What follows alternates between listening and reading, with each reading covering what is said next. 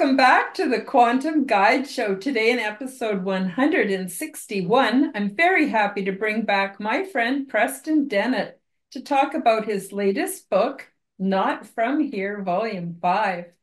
Preston Dennett began investigating UFOs and the paranormal in 1986 when he discovered that his family, friends, and co-workers were having dramatic unexplained encounters. Since then, he has interviewed hundreds of witnesses and investigated a wide variety of paranormal phenomena. He is a field investigator for the Mutual UFO Network, also known as MUFON, a ghost hunter, a paranormal researcher, and the author of 30 books and more than 100 articles on UFOs and the paranormal. He is a frequent guest on radio and TV and speaks across the United States. You can find more about Preston at his website, www.prestondennett.weebly.com. Preston is here to tell you that UFOs are real. As the UFO cover up crumbles, disclosure is happening before our very eyes, and Preston continues his outgoing quest to share the truth about UFOs and, ex- and the extraterrestrial presence on planet Earth. As with other volumes of Not From Here, this book takes the reader into the heart of the UFO phenomenon, shedding light into the darkest corners of ufology, sorry, ufology, and exploring the unknown aspects of UFO research. With hundreds of firsthand cases from early history to the present day.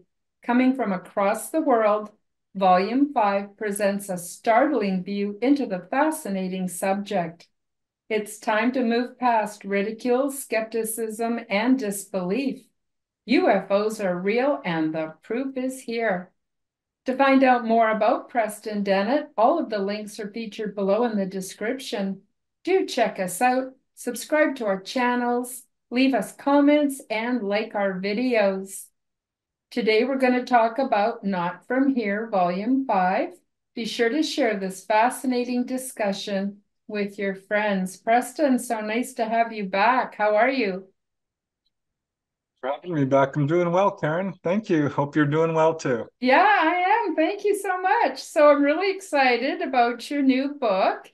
And um, what I really liked about it was the way it flows from chapter to chapter. For even paragraph to paragraph, you've got a real gift when it comes to making the reader really comfortable.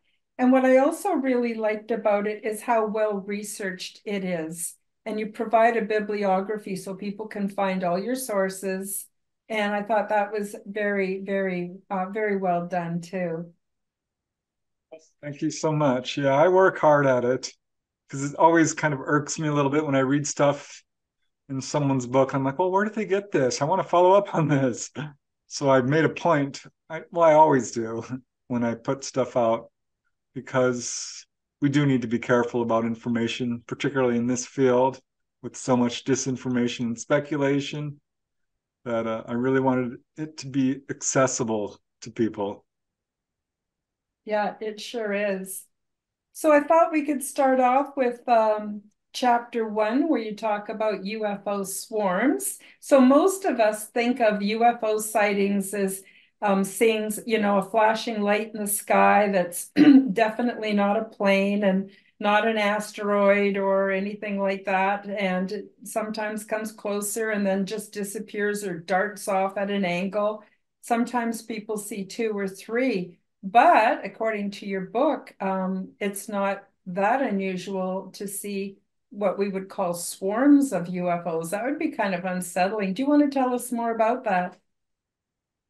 I mean, it's not at all unusual to see multiple objects in the sky. In fact, I was looking at encounters, and most, I'm not going to say most, but a good number of them do involve multiple objects one or two, three, four, not at all unusual to see five or 10 or even 20. But once you start going above that, it's very unusual. And there are only a handful of cases involving you know, 50 or more objects. I started looking into that after I got my own case during the Topanga Canyon UFO wave. Topanga, of course, is right outside of Los Angeles, right along the coastline. And on June 14th, 1992, I don't know what happened. the skies opened up. People all over this little community, 8,000 residents or so back then, started were seeing stuff. I mean, they called the police, they called the local newspaper. I got some call. Uh, I ended up doing a really big investigation into it. And on that night alone, I found like 30 separate, you know, independent adult witnesses in various locations throughout the canyon who saw craft on that night. Some were driving down the road and one craft followed them. One guy, he says five or six were swarming around his truck. He's going down. Another said they saw three. One guy pulled over. He says he saw a large mothership like object, and 20 or more objects were swirling around it. So these were all on the same exact night. And I found one couple who lived very high on the ridge. This is about 2,000 feet high. Um, it's called uh, Saddle Peak and it overlooks the ocean, you know, it overlooks the whole area.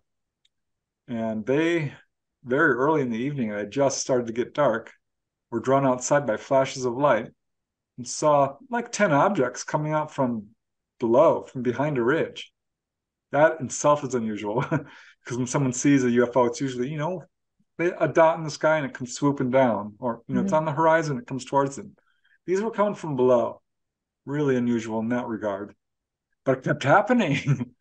and they kept getting drawn outside. And finally, you know, third or fourth time, she's like, I'm going to start counting these because 10 or 20 objects are coming up.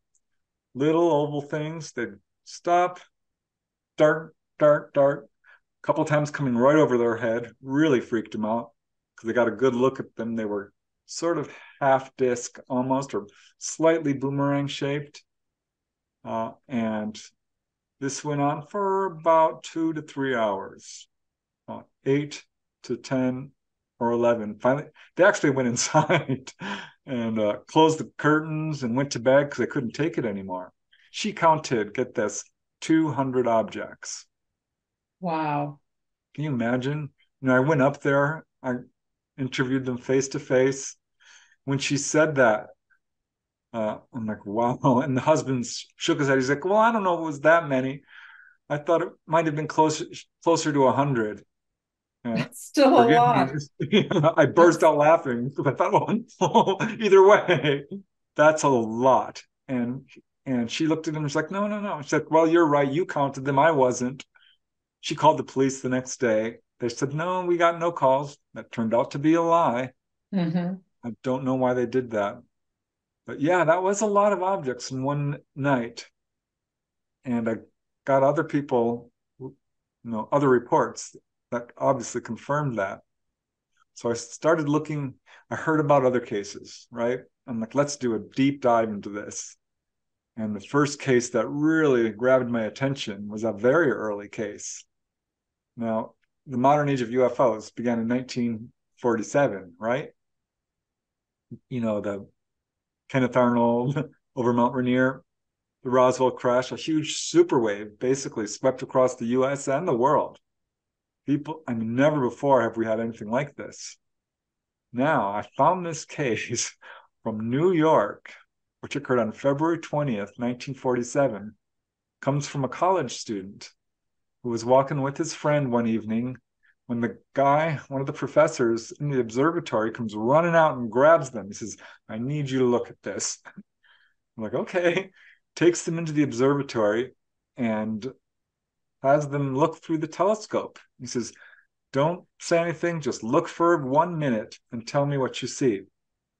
And so they did. And they saw this line of objects going through the viewfinder there.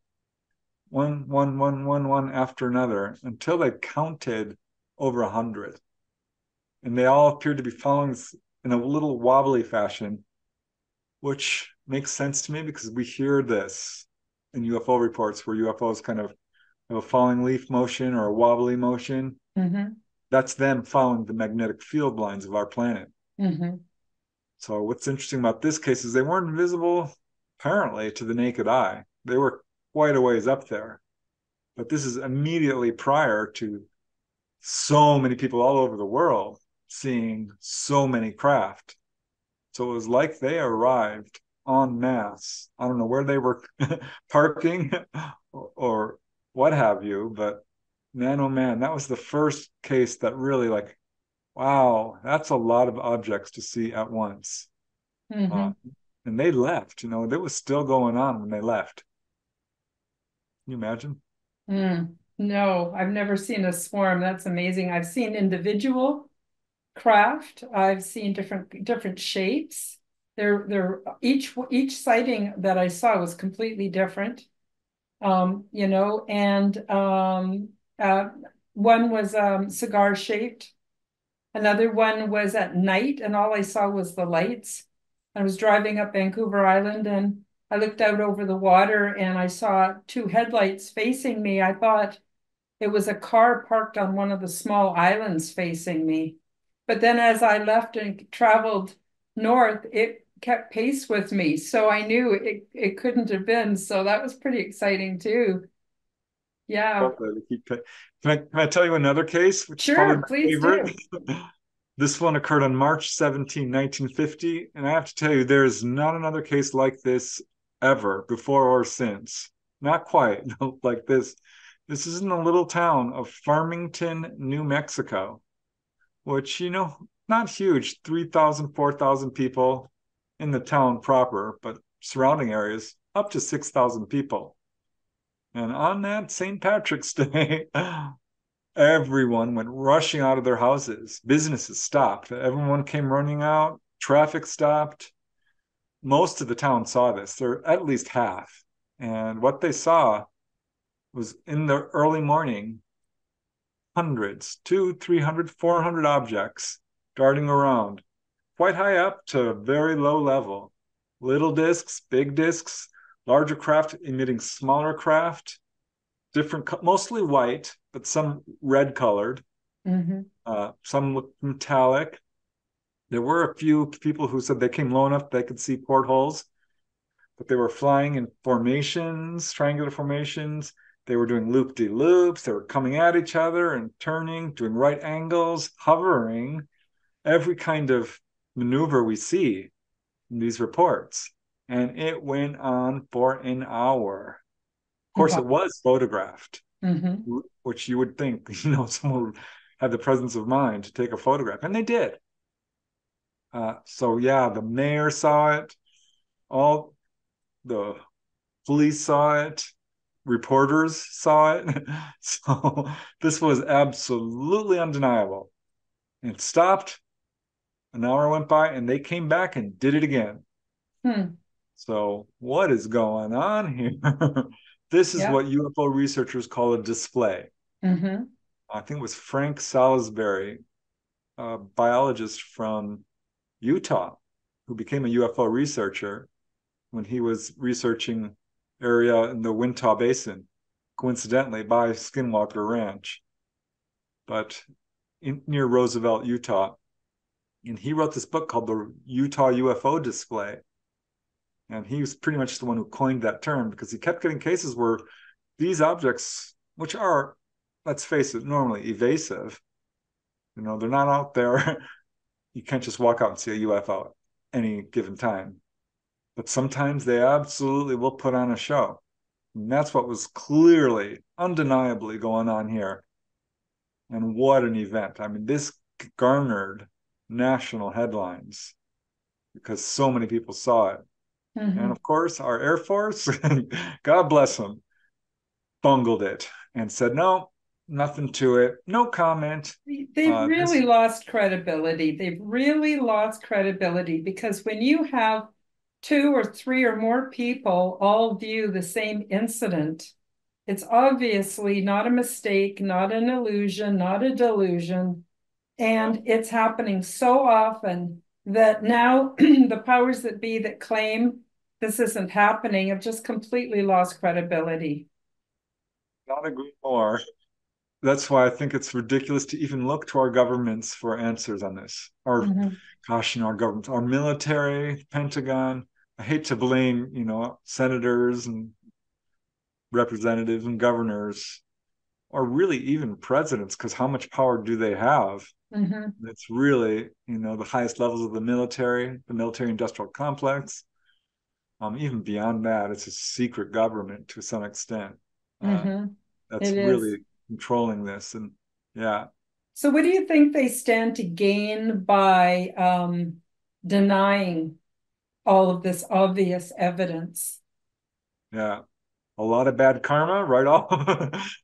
uh, but for, in their minds, I think what they're trying to gain is power over the people, control, mm-hmm. uh, money.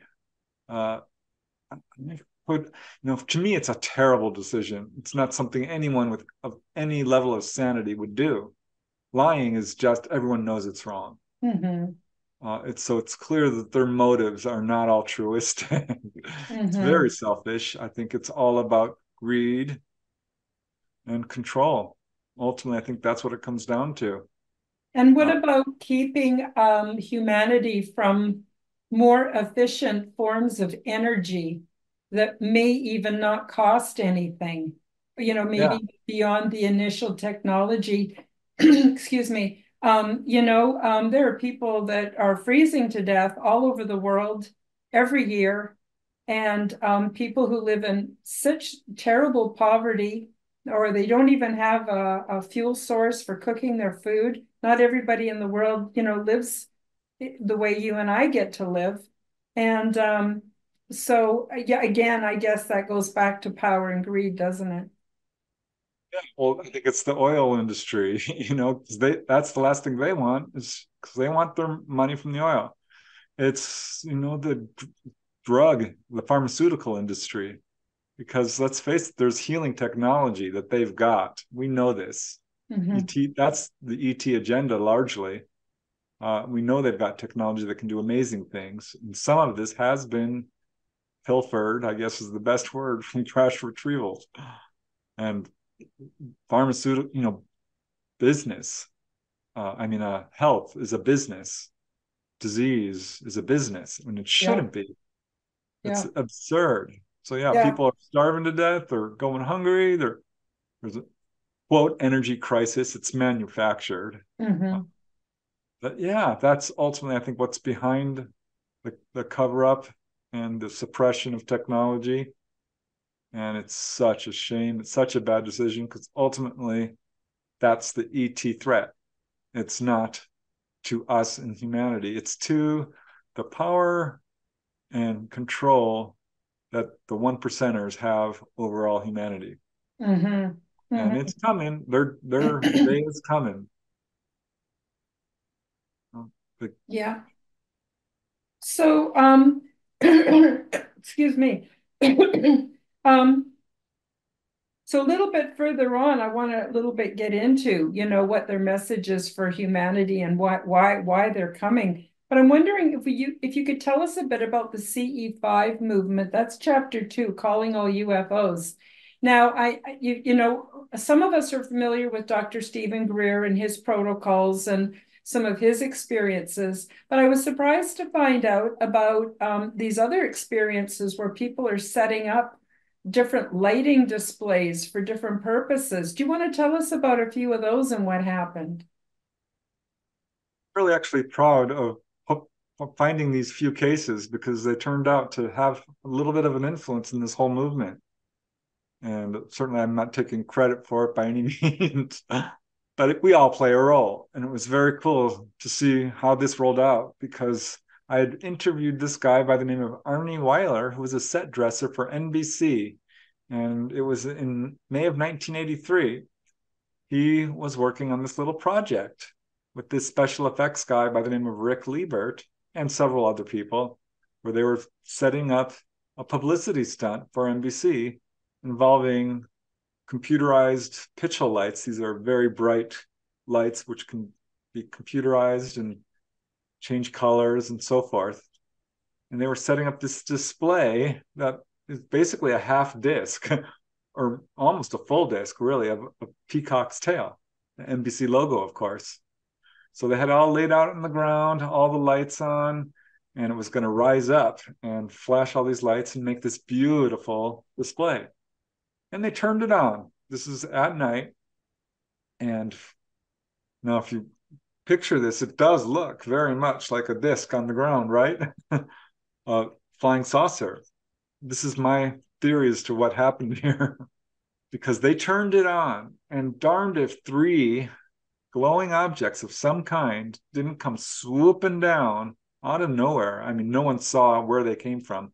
They just came boom and immediately caught Arnie's attention. My dad works in the film business, and he's the one who kind of said, I want you, I've got a guy for you to interview. he had an encounter. He wants to talk to you about it. This is Arnie, of course. And Arnie sees these three objects and he's like, oh my gosh. And he turns to the guy who's behind all the special effects setup, Rick Liebert, and says, look, what's that? And Rick is very just kind of casual about it. It's like, oh, there they are again. UFOs. they keep showing up when I do this kind of stuff. and I was like, "You're kidding." He's like, "No, no, this this has happened before." And so I'm interviewing Arnie about this. I'm like, "Wow, you think they were coming to?" He said to check out the lights, the peacock tail. He says that's what it looked like, because they took a quick look see and off they went. So I like, can I talk to Rick? I've got to talk to Rick, Rick Liebert, because he's the guy who sets up this and said it happened before. And sure enough, I talked to him. Really nice guy. Turns out he's a big shot. I had no idea. I'm just I'm in my early 20s doing bookkeeping, and he's a pretty well known guy, radio DJ, and working with a lot of very famous musicians, and owns his own special effects company. Uh, and he just said that he had another incident because I asked him about this. He verified it. I'm like, can you remember any others? He's well, you know, it happens several times, but the one that I really remember, gosh, let me see. I think it was in 1978, and uh, he and his team, his crew, had gone down to San Diego to do a stunt for a radio station. And what they did was they got this Spectra-Physics argon laser, um, which shoots out this green laser beam and would play in tune to Pink Floyd and other rocks you know, rock songs.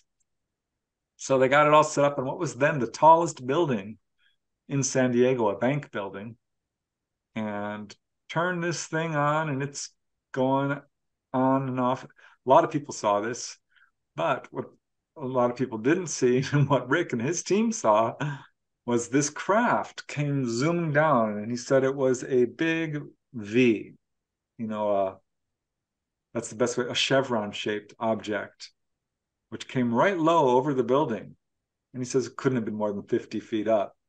Had lights on either arm of this V, made a low buzzing noise. He says there was another one kind of up and higher up and a little bit smaller, but probably the same size, just farther away, and just moved right overhead. So, yeah, this was a publicity stunt. designed to attract attention, and I think it attracted the kind of attention they weren't quite expecting. Mm-hmm. And I started looking into other cases, and I did. I found some. There was a light festival in Nevada where they turned on all these light sculptures, and sure enough, a UFO came swooping down, apparently to take a look at it. And so what I did is I wrote this up in an article for UFO Universe magazine, and I called it "Calling All UFOs." and kept myself busy with other cases until Stephen Greer comes to town because he's forming CSETI. This is the Center for Study of Extraterrestrial Intelligence, whose goal is to basically open a dialogue and form a relationship with the ETs, initiate UFO encounters. Because uh, this is something people have been doing for a long time. But he popularized it with his mm-hmm. group and really brought it to the forefront. So really good work there for Dr. Greer. And I wasn't going to go to the meeting because it was expensive. Honestly, it was like $300, I think. Like, I just can't afford it. I'm working as a bookkeeper. I don't make a whole lot of money. And uh, the newspaper called me and said, You know, I have no idea why we're doing this, but we want to pay your way if you'll write an article. Nice. I'm like, wow. It turned out to be a really pivotal moment because I met a contactee I, I met a really good friend. Um, I mean, it opened up a lot of doors for me. But I'm there in the audience, and Stephen Greer is talking. He's like, "Okay, I'd like to talk about how we call down UFOs." And here's this great case I found by researcher Preston Dennett. I'm like, "Whoa!" nice. And he listed, yeah. This he says this is a prime example of how you can call down UFOs. This this is like the number one case I found. And then he said, "Here's another one." and this is also by, from Preston Dennett. Grinning, I'm like, whoa. And he listed a few more that he had found and basically outlined his what he calls the contact trilogy or this the protocols for calling down UFOs. And we went out that night to Santa Susana Pass, not far away. This is outside of LA, a slightly rural area overlooking the city. Um, so not too rural. we no sooner did we get there, Karen, there must have been 40 people there, 50. Um, and it was a cold night. It was freezing. And uh, someone shouts out, What's that? Look. and I'm like, You got to be kidding me. And he, everyone starts looking up. Of course, I did. And way the heck up there. Yeah, it was up, way up there 20, 30, 40,000 feet was this enormous light and I have taken enough astronomy. You know, I'm really into it. I, I do my research, but I knew instantly this wasn't a satellite. This wasn't a fireball. It's not a helicopter plane. Anything that I could conventionally explain. It had a really odd shape. It was like this blob of light, and it was moving very slowly, just a few arcs, and basically was there for just couldn't have been more than five or ten seconds. Mm-hmm but it was so big. I mean, this was about half the size of a full moon, a quarter moon or a half moon, maybe. Mm-hmm. And boom, it was gone. I was in. I'm like, let's go. Because we went up the next night. And this time there was maybe tw- 10 or 20 of us. Are these people crazy? Do they not want to see a UFO? I thought, you know, everybody would go. But we ended up forming a core group on that night of about 10 of us, 15. And sure enough, yeah, these weird, gosh, strobe like flashes came down over our group. And it was different because you could almost feel the light. I don't even know how to describe it, but it was just different from a normal light. Mm-hmm. And uh, after that, we would go out every one to two months, every th- three months, late, late at night. Oh, it's exhausting. I'd go to work the next day destroyed. we'd stay up till 3 or 4 a.m. And uh, I would say about 20% of the time we would see stuff. Little lights flashing at us mostly. One of the best times was at that same spot. We had just packed up, nothing showed up. And often we're very aware because this is when the darn things will come. and like, hi, hi, bye. so we basically packed up and we're heading on down the trail back to our cars and a flash of light caught my eye. And I looked up because it had come from the mountaintop, Rocky Peak, just crossed the way, a mile or two away. And I'm like, whoa, guys, I'm pretty sure I saw something. I was the first one who saw it. And uh, we all stopped and like, are you sure? Are you sure it's not a reflection? I'm like, mm, I saw something. And then it flashed again. It was a big, bright light, really bright, but it was on the mountaintop. I'm thinking, well, I don't know. That could be a hiker up there. How would he know we're we're here? I was kind of on the fence. But we pulled out our lights, of course, and we started flashing back and forth. It would flash, we would flash, we'd flash twice, it would flash twice. This went on for 10, 20 minutes. And I'm still on the fence. Thinking, mm, I don't know. These are bright lights, but this is on the surface of the ground. And how do I know that this is anything unusual? Then the darn thing flashed the biggest prismatic red light you've ever seen, which I just don't see how a person could do that. Mm-hmm. this is not a tail light. This was not a flashlight with a red filter. This was a huge, brilliant, beautiful, prismatic rose red light. And then I knew, like, that's unusual. Uh, so that, yeah, I became a charter member of CSETI, and we had a lot of good sightings. And I talked to Steven Greer about it, you know, because we we would take him up and I did the show Encounters and we set it on the spot to try to call down UFOs for the TV show. One actually showed up, a little unexplained light, but he was very gracious and said, "You know, I need to thank you for that article you wrote." I'm like, "Oh, yeah, that was my case." He's like, "Yeah, I know.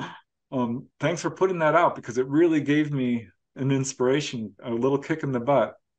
Uh, and he said he got a message from the ETs. It's now time to pick up what you have dropped, which was his plan to do mm-hmm. this CSETI group. So yeah, we each play a little bit of a role. Uh, and it was very cool to see that, you know, wow, you know, I think these ETs know what they're doing mm-hmm. and how it influences people and ripples outward. Mm-hmm. Because that became a very influential thing. And close encounters of the fifth kind, as we now call them, have moved to the forefront of UFO research.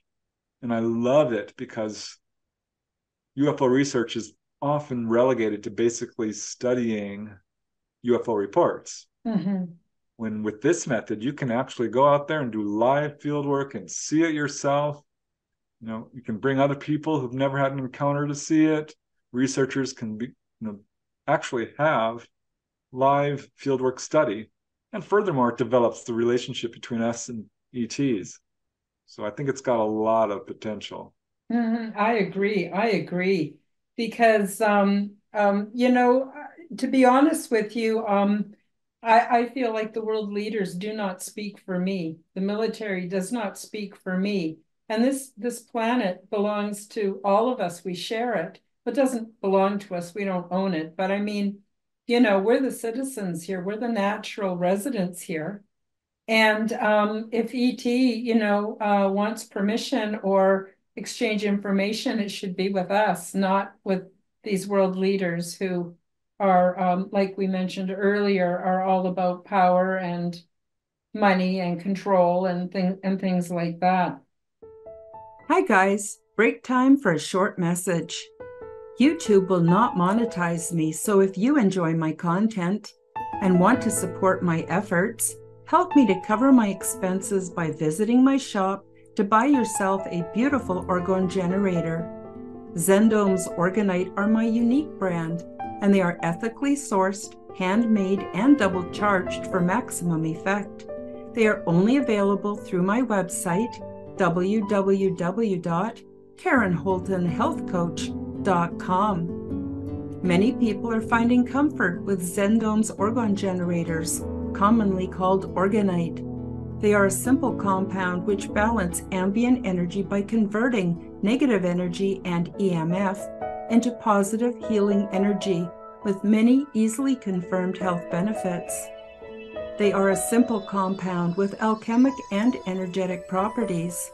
These devices function as self driven, continuously operating, highly efficient, negative to positive energy transmutation factories. They help diminish the harmful effects of electromagnetic frequency radiation by attracting and converting negative energies, retuning them into new and more healthful sound and light wave patterns. And they help to purify the atmosphere and accelerate plant growth. They also help stimulate positive mood and are a natural remedy for poor sleep patterns. When orgonite is within range of any corded or wireless electronic device, it will efficiently and continuously transform that energy into orgone as it is being transmitted. This essentially creates orgone energy transmitters out of any and all emitters of harmful negative energy. You can use these devices for focusing the mind, healing, meditation, and for spiritual growth. Zendome's Orgonite are my unique brand of orgone generators, and they are only available through my website. Don't be fooled by imitations. Check out my website to see my latest selection at www.karenholtonhealthcoach.com. That's K A R E N H O L T O N healthcoach.com. Check them out today. Now, let's get back to the show. We shouldn't So even call them leaders, are they? They're controllers. That's what they are. yeah, I I I usually refer to them as the parasite class because I don't I see like that. I don't see anything elite about them. I just don't, you know. And Yeah. anyway, We're the biggest, we're the strongest force in the on this planet, the people. yep, We're the ones who are actually responsible for the this planet. yep, yep. We're supposed to be stewards of the earth, I think. So So that sort of, let's just sort of segue now into astronomers. Now, you would think that people that spend a lot of time looking at the sky, you know, would see more often um, things like UFOs. Um, I find it frustrating when people like um, Elon Musk say, oh, there's no such thing as ETs or spaceships. I'm in the space business. And if there was something like that, I would have seen it. Well, I don't know, maybe he spends too much time in his office and not enough time looking at the stars. What's your take on on astronomers and UFO sightings?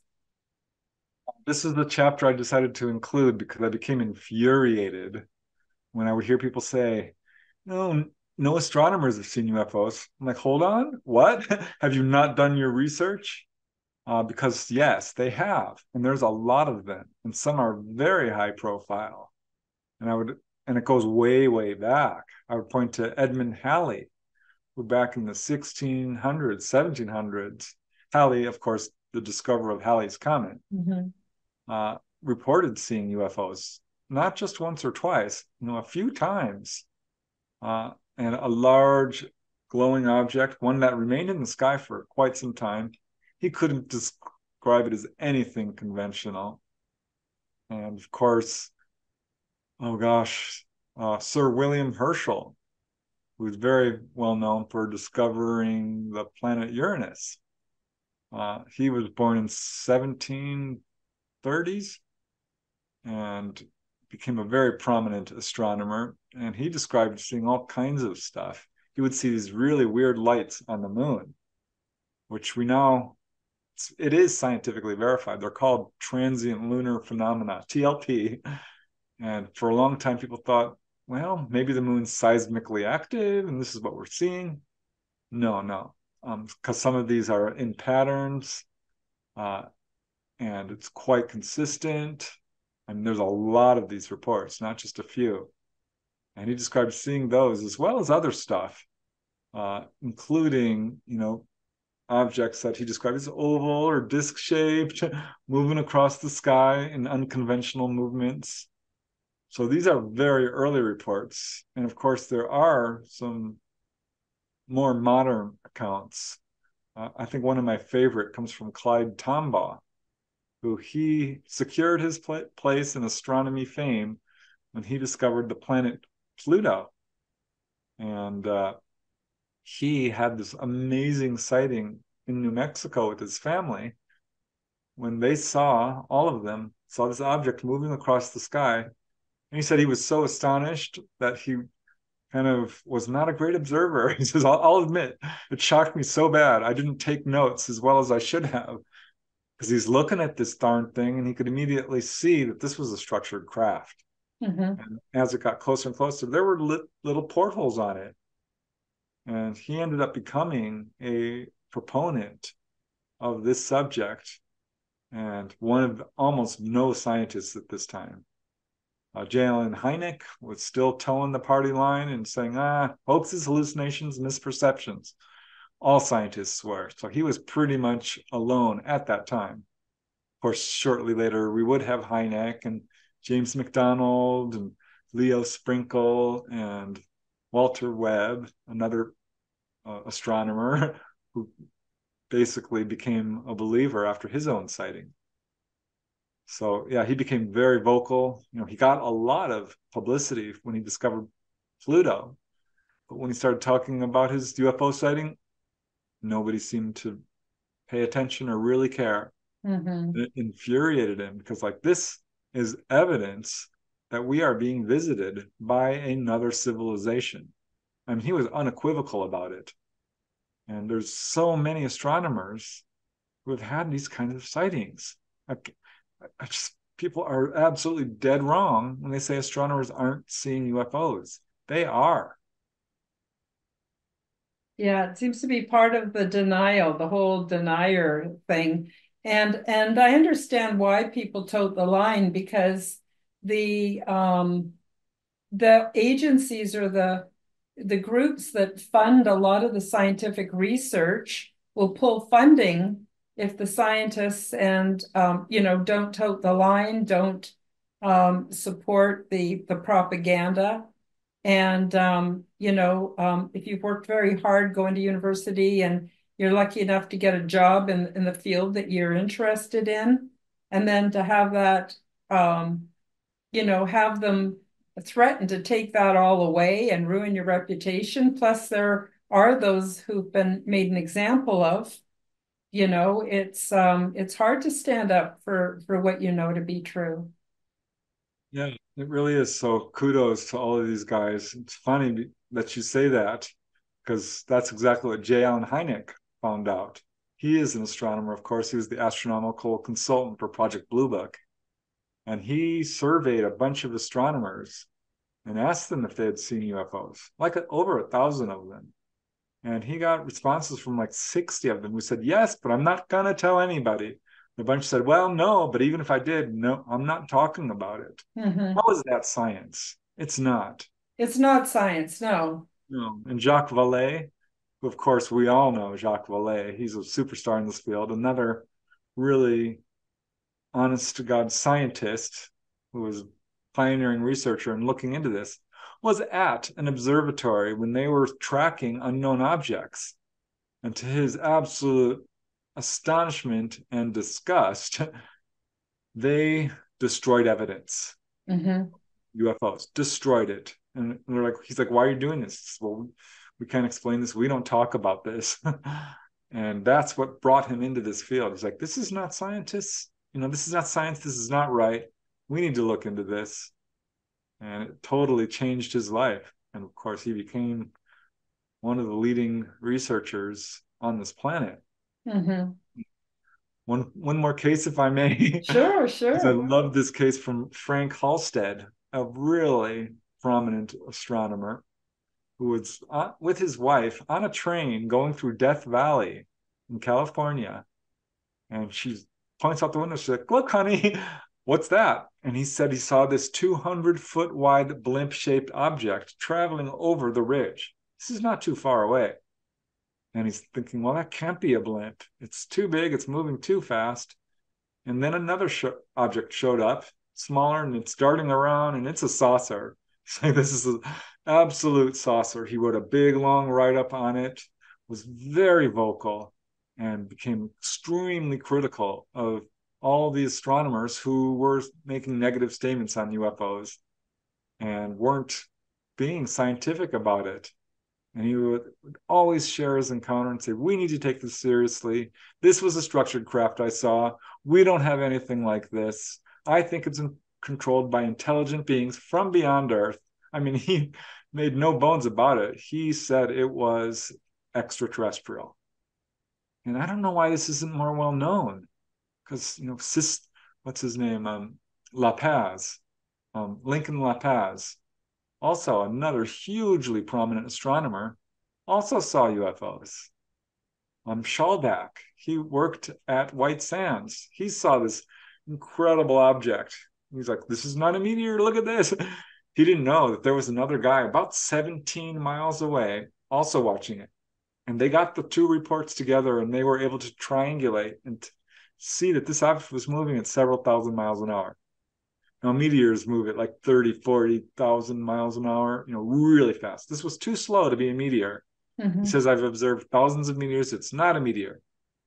And Walter Webb, I think it was, or one of the, another astronomer, it wasn't Walter Webb, says, You need to report this. It was Clyde Tombaugh. That's right. Said, You need to report this to Project Blue Book. And they did. And they did this whole write up. You know, we've seen meteors. This wasn't a meteor. We think this was a UFO. You should investigate this. Well, Project Blue Book, all whenever they received a good case, they didn't like it. They would not pay attention. They were looking for people who saw Venus, and that's what they would publicize. So when this report came in, they were between a rock and a hard place because these are astronomers. And what they, I couldn't believe what they did. They did no investigation and said, it's a meteor. That's what mm-hmm. they called it. It's a meteor. They're talking to two professional astronomers, and these Blue Book officers are not trained astronomers. They're military officers mm-hmm. uh, with no astronomical training. um, yeah, they tried to debunk it. It's ridiculous because they said it in the report. This is not a meteor, and that was their explanation. Mm-hmm. Ridiculous. Yeah. Well, we're just going to have to just pull, um, do disclosure on our own. You know, enough of us coming together, talking about things, and we'll just do it on our own and to heck with them. They can't yeah. hold us back. I'm wondering, um, Preston, if we could talk a little bit, another really interesting chapter. They're all interesting chapters, trust me, folks. You really definitely want to pick up this book. Um, but in chapter four, um, apparently at some of the UFO conferences, actual aliens have attended. Do you want to tell us a little bit about that? Sure. I, you know, I had a little bit of fun with this chapter because I was intrigued by my own experiences. Uh, I went to this conference, uh, the Triad Conference in 1994. There was a lot of speakers there Bud Hopkins, Don Ecker, Yvonne Smith, Colin Andrews, some of the big shots in the field. I'm just a little guy, kind of new to the field. Uh, I got involved in 86, 88 became active. So this is just a few years in. Mm-hmm. I'm writing a few articles at this point, and that's about it. Two years later, I would put out my first book. but I went down to hear the speakers. I had a friend who lived in San Diego, so I thought, wow, this will be great. I don't have to pay for a hotel. and uh, was staying at his house well. You know, it was a great conference. Turns out there was a lot of Secret Service agents there because President Clinton, by coincidence, was visiting at that time and staying right where the conference was being held at the Del Coronado Hotel.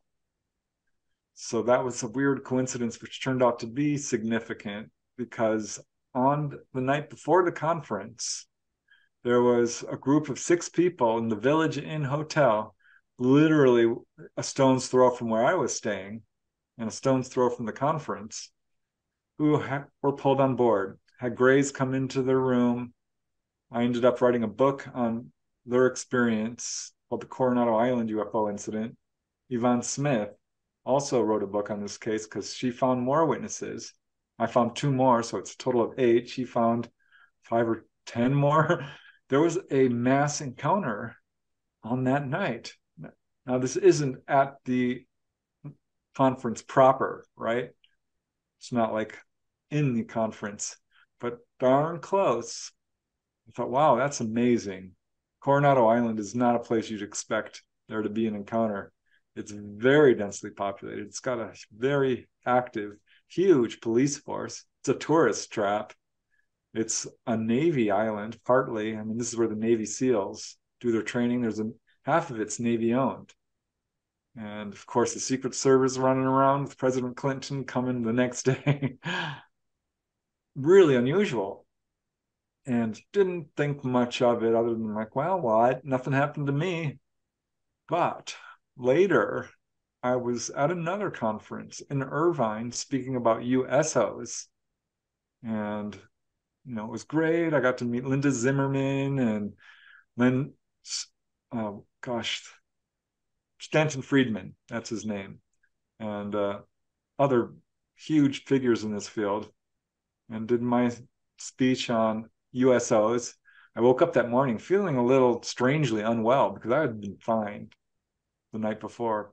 Uh, and I just kind of attributed it to nerves, though I don't usually get that nervous. So it was a little strange. But then I found out um, sometime later that there's a gentleman, Mike Knox, an army officer, a good witness, who says that he was in his hotel room at the conference and was visited by Greys, who came in and healed his Achilles tendon, which required surgery, by the way. He was going to have surgery. Uh, but Greys came in and basically stitched it up. Uh, this is what he says, and uh, he's done conferences about it, describing his experience, and he's gone public. He had a witness who was in the hotel with, with him who saw grays. He himself didn't see them, uh, but he did have some unusual experiences. There was a mark on his leg, and turned out there was another lady at the conference who reported her experience to NUFORC, National UFO Reporting Centers, saying she was pulled on board out of her hotel room, saw some of the speakers on board. I was a speaker. hmm, I don't I don't remember anything. And she didn't name names. Her report was anonymous, so I can't contact her. But I thought, wow, that's two reports. And a third one came in from someone, a couple of people actually, a group of people were outside the hotel and said that they saw UFOs over the hotel that evening. So I'm like, wow, here it is again. then this guy put out a book of the blue beings at a UFO conference. And I thought, wow, could this be a thing? And that case is somewhat controversial. I did talk to someone who was there at that incident where people reportedly saw these tall blue beings.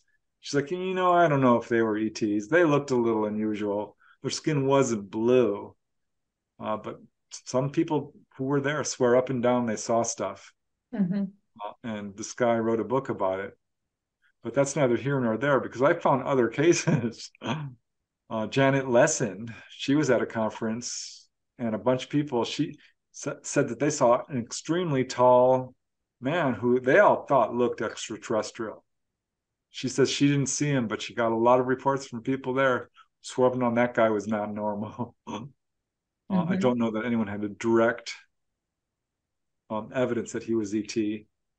But there was a conference in South America where apparently an ET appeared and shot a little beam of light at the speaker, G- General Ochoa, right when he'd started to speak on stage, and then disappeared in a flash of light. It caused complete chaos. I couldn't get super good verification of it, but there was one case that was really well verified, and this was at Contact in the Desert mm-hmm. in Joshua Tree. And I like this case because while it only involves UFOs, boy, does it ever involve UFOs because some hundred people or more, and a good 20 of them submitted reports said that multiple objects were seen over a period of about one to two hours. This green glowing object came swooping in, would stop, and then dart off, followed by a blue one, and then a red one, and yellow one, and multicolored objects, which is important because you know if this is just a white light moving along or red and white light, you know, mm-hmm. plain, mm-hmm. Uh, but sometimes multiple objects, and they were moving in an unconventional way at times. They would stop, they would go straight up. They were filmed, they were photographed, they were viewed through binoculars, they were viewed through night vision goggles. Melinda Leslie was there. She's very prominent in this field. She wrote up a very lengthy report. And I found quite a few reports firsthand from people and there was a lot of oohing and eyeing and people jumping up and down. I find this so interesting because what better place would a UFO show up than where all the UFO folks are gathered? Mm-hmm. If you go to a conference, most of these people are contactees. Mm-hmm. That's why they're there. And the UFO researchers, of course. I mean, what better place to do a little disclosure event, which is one of the ET's goals? Again, we don't need our governments. The you know the ets are basically have a publicity campaign. And that's what they were doing. And i think it was very effective. And it was a perfect place to do it.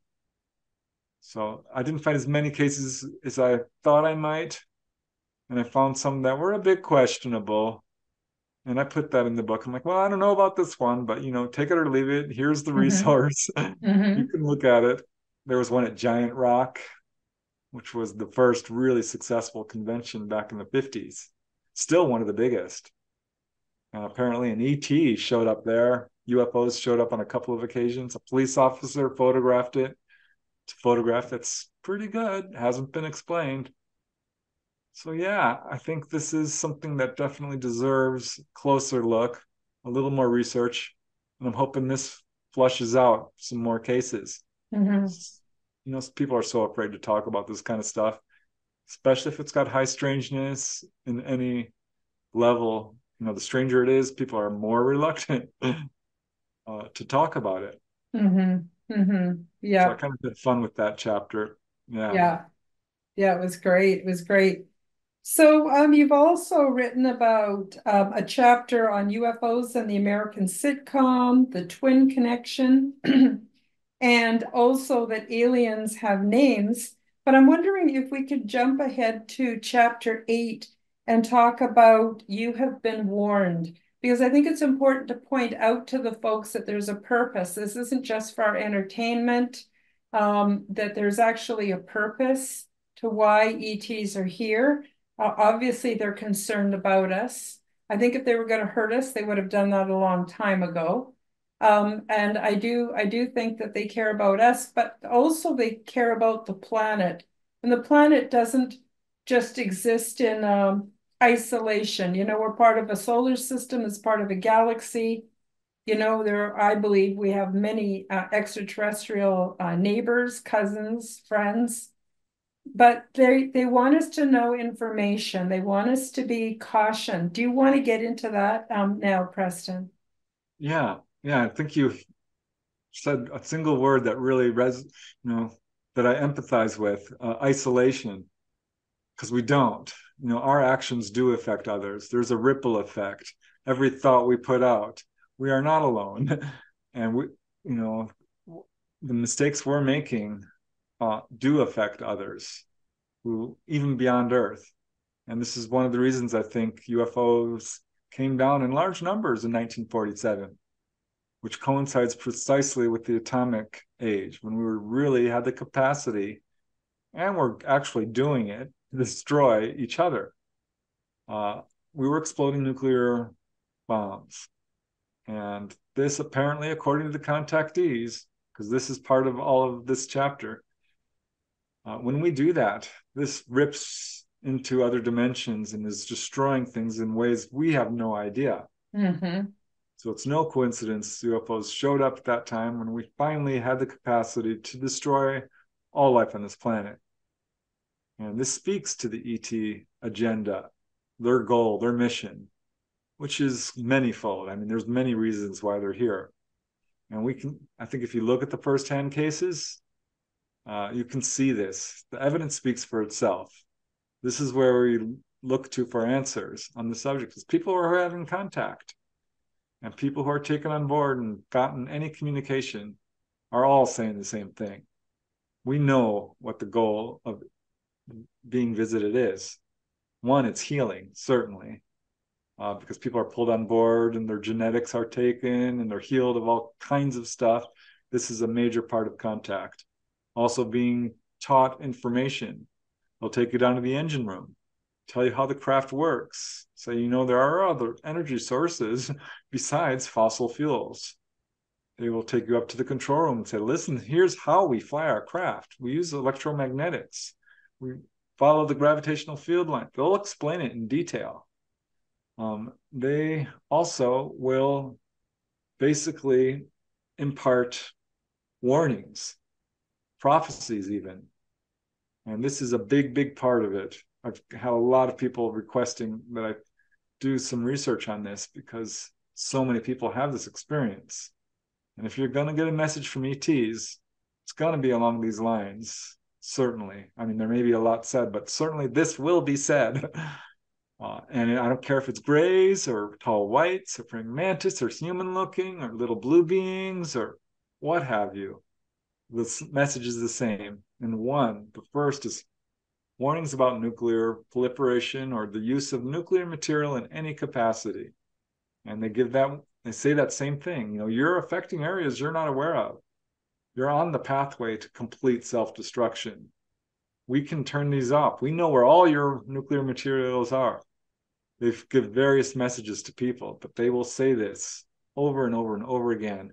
Not only say it, if you look at the actual cases, almost every nuclear base, nuclear missile site, nuclear vehicle, nuclear power plant, nuclear waste has been visited all across our planet. Mhm. So it's not just words, it's action. Mhm. Uh, now, also, they warn about uh, greed and corruption, war and aggression. We're very, very concerned about how we're treating ourselves and each other. And like you said, the planet. They warn about the chopping down of the forests, the polluting of our waters, the our food supply, all of this. People are warned over and over again. And every major researcher who focuses on cases of direct contact has these. Thomas Bullard was the first to do a statistical analysis of onboard experiences. And he said this is a big, big part of it. Bud Hopkins, of course, and David Jacobs and John Mack, and all of them agree that ETs are giving these same warnings.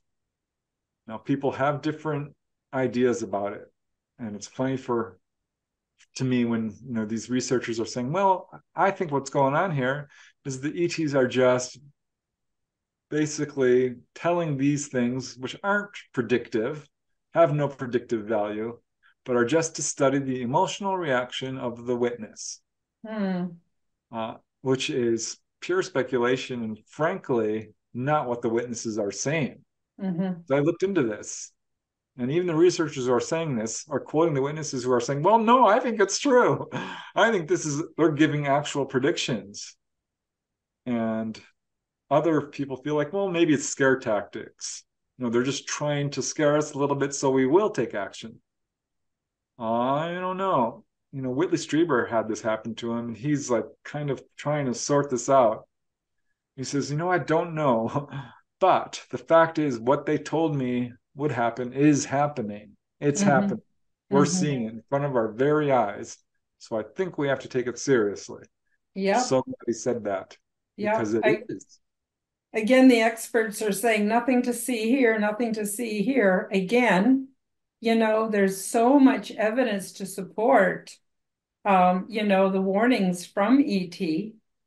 And we can see for ourselves if our eyes are open, um, you know, there is a problem. There is something going on um, that is, um, you know, our, our food supply is becoming toxic, our environment's becoming toxic, our water supply.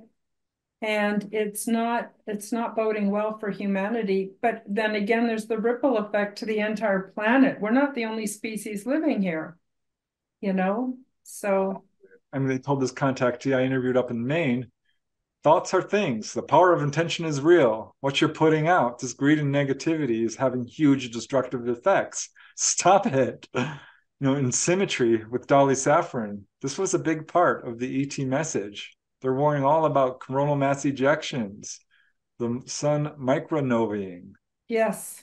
um, you know, the possibility of a axial pole tilt has been discussed many times by ETs. There was an Italian contactee, Walter Rizzi, who was told flat out, your Earth is going to tilt at some point.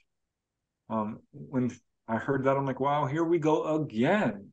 How many times do we have to receive the same messages? hmm And you know, wherever you look to for knowledge, whether it's mainstream scientists, Native American elders, uh, channelers, uh, out of body got astral travelers, near death experiencers, uh, all are receiving these messages. Yep. Mainstream scientists all over the world are like, yes, there's, you know, we've polluted our entire planet. Uh, if you t- look at a map of the forests, how they were, you know, 100, 200 years ago to now, you will cry. It Yep. is devastating. Yep. We And- are on a pathway that is at this point irreversible. That's what they told Kevin Cameron, a contactee. They said they showed him all these disasters hmm hurricanes, tornadoes, landslides, earthquakes. They said these will happen. You started a countdown clock when you started exploding nuclear bombs. You cannot stop this from happening. hmm And he's, they gave him all of these predictions. He says it looked real. he says it was like looking out of a window. hmm And as time went on, he would see them happen on the news. Unfortunately, he passed not too long ago. I'm so sad. Oh, he's such a nice guy and such an amazing encounter with these 15 foot tall praying mantis ETs who basically, yeah, were just warning him. So I hope we listen. I really do. Yeah, me too. I- am wondering, Preston, have you heard have have any of them said anything about CERN? You know, the the large hadron collider in Switzerland. Um, I can't say I've heard a case where that, that's specifically mentioned. Um, but I will say uh, in 1954 in France, there was a massive superwave, October and November, where objects landed. I mean, there's a hundred cases of landings in pure two months, 200 cases really, but and a thousand sightings. Something crazy was going on. I'm like, what is going on? Why, why, why, why, why? And so I delved into the history of what's going on at that time. CERN, CERN mm-hmm. had just opened, mm-hmm. and it was not far away. Uh, and that's when supposedly our own secret governments had really kind of started reverse engineering anti-gravity technology mm-hmm. apparently we were starting to do some really dangerous things mm-hmm. so i think yeah they've made it clear that they do know about it mm-hmm. to anyone who's willing to do the research into it mm-hmm. yeah so we've been we've been warned now, Preston, we're quickly running out of time, but before we say goodbye to the viewers and the listeners, I'm wondering if we've left anything out. Is there anything you would like to add to the discussion or to tell the, you know, the, the listeners and the viewers, or um, you want to sum it all up, or do you want to draw attention to something else in the book that I missed? Well, we didn't cover it all because it wasn't time, but you know what I mean. Yeah, I mean, there's some interesting chapters in there for sure. I thought the stories about the American sitcom and how the subject is treated has a lot to say. Uh, but I, I, did a chapter on uh, alien books, which I thought was super fascinating, especially mm-hmm. after finding out about Dolly Safran having an ET book and Betty Andreasson and Betty Hill, of course, seeing a book. And uh, Mike's, or what's his name? Richard Selver. I, I forget his last first name. Um, S E L V E R. He he just put out a book uh, so yeah, that's interesting. But no, I mean, we covered a lot. Uh, I'm pretty excited about this book. It hit number one. I'm so grateful and humble. It's like wow. and uh, yeah, the only message I would give to people is clearly it's time to move past, like you said, skepticism and disbelief and ridicule. The evidence speaks for itself. Uh, we really need to form a consensus on what's going on here. Move beyond the fear. It's not warranted don't believe our lying governments. Mm-mm. And just remember that we are all being contacted on some level. Um, there's no need to fear. Just allow love and truth to guide your actions. Yes, we may be going through some tough times up ahead, but we're immortal beings and we're going to be just fine. And we have friends who are watching over us who are doing their best to help us without basically stepping in and taking over because they can't. Mm-hmm. They respect our karma. We have to learn this lesson. We made our bed. We have to fix it. Mm-hmm. So, yeah, I think it's an exciting time to be alive sure on is. planet Earth, and I'm happy to be a part of it. Thank sure you. is. Thank you so much. Now, before we say goodbye, also, do, for those especially on audio, would you like to say where people can reach you? Yeah, thanks, Karen. It's super easy to reach me. I have a website, prestondennett.weebly.com. Got a YouTube channel. I'm all over social media Facebook, Instagram, Twitter. I do a podcast with Dolly Safran, The Light Gate, each yes. Monday evening, 6 p.m. Pacific, 9 p.m. Eastern. My books are on Amazon and online retailers near you. And yeah, you can contact me through Facebook or my website or my YouTube channel or any of those. So I really appreciate that you giving me this opportunity to talk on this subject, which is so important and so interesting. Oh, it, it really is. And thank you so much for, for joining me, Preston. Always a pleasure. Love to hear what you have to say. It's relevant, it's it's important. It's inspiring, it's interesting. You're quite the guy, and I just really appreciate you very much And I'm so grateful that you were able to make time to come on the show today. So I also want to, sorry, go ahead. Thank you. Yeah, I feel the same way about you, Karen, just so you know. oh, thank you. Thank you. And um, so um, I want to also wish the viewers and the listeners um, much success and love and light and good things to come into your life. I want to thank you also for making the time to join us. Please do share this exciting, interesting episode with your friends and your family. And again, the links will be below. So I guess that's it for today, and we'll see you next week on the Quantum Guides Show. Bye bye, everybody. Thank you for joining me for the Quantum Guides Show. Become the change that you wish to see in the world. Subscribe to my YouTube and other channels at Karen Holton TV. Click the like button, leave me a comment, and share this podcast with your friends. Check out my website at www.karenholtonhealthcoach.com to see my free resources and amazing products and services. All the links will be in the description below. As part of the Forbidden Knowledge Network, you will find the Quantum Guides Show with Karen Holton and also the Aliens and Angels podcast on all audio platforms. Until next time, keep up the good work.